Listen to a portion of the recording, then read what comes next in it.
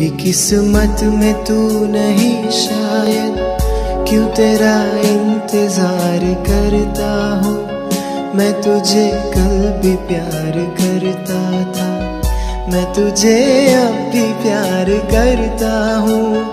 मेरी किस्मत में तू नहीं शायद, क्यों तेरा इंतज़ार करता हूँ?